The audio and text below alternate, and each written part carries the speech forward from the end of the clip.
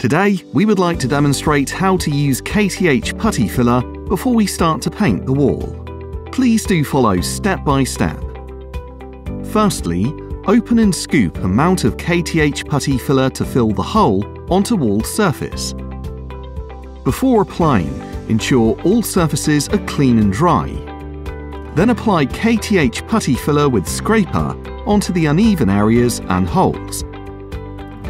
After applying KTH putty filler onto the surface, allow it to dry approximately 60 minutes before sanding and painting.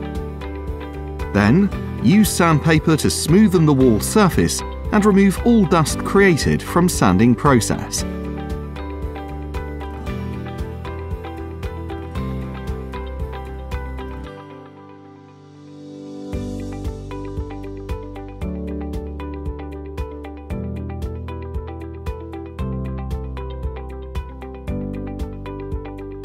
Next, paint the wall with KTH Wall Sealer 1000. It functions as a sealer to protect the top coat of the wall.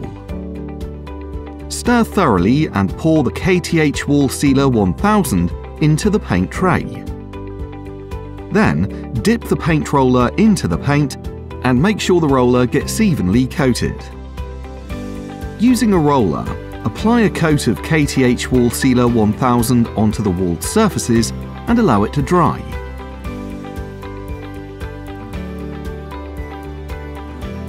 Then, paint the second coat on the wall surface with a KTH Pearl Glo 7800. Stir thoroughly and pour the KTH Pearl Glo 7800 into the paint tray. Then, dip the paint roller into the paint and make sure the roller gets evenly coated. Using a roller, Apply a coat of KTH Pearl Glo 7800 onto the walled surfaces and allow it to dry.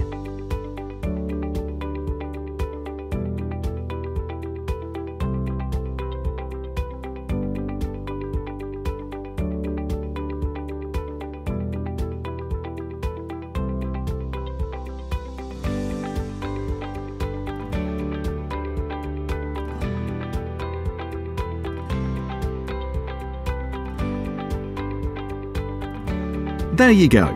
You're done filling the hole with KTH putty filler and paint the wall surface with KTH Wall Sealer 1000 and KTH Pearl Glo 7800. Thank you for watching.